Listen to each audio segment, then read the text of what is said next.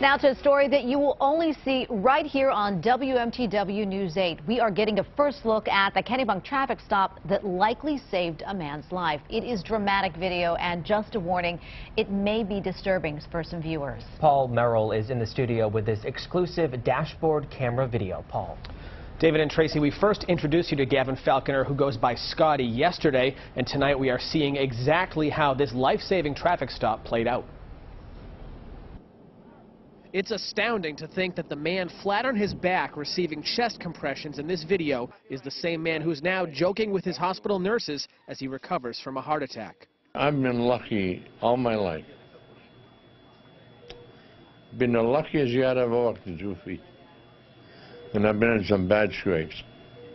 But I always was lucky.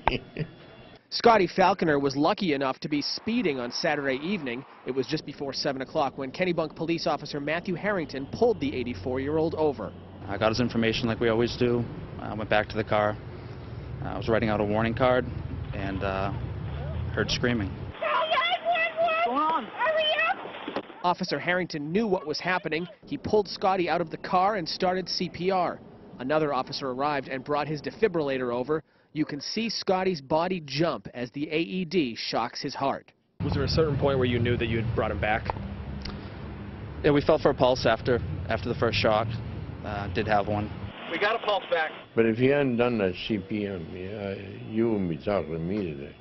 While every Kennebunk police officer is trained to administer CPR and use an AED, only two officers on the force are trained licensed EMTs, and Officer Harrington is one of them. As stressful as it was, he was still comfortable with what he was doing. Kennebunk Police Chief Robert McKenzie says that comfort is evident in the way Officer Harrington uses foam from the AED to protect Scotty's head and sends the other officer over to check on Scotty's wife. It's picture perfect, it really is. And as we told you yesterday, Scotty avoided a speeding ticket, but he did get a written warning. In the studio, Paul Merrill, WMTW News 8.